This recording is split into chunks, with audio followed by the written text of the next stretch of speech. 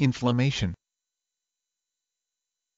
Inflammation, a localized reaction that produces redness, warmth, swelling, and pain as a result of infection, irritation, or injury. Inflammation can be external or internal.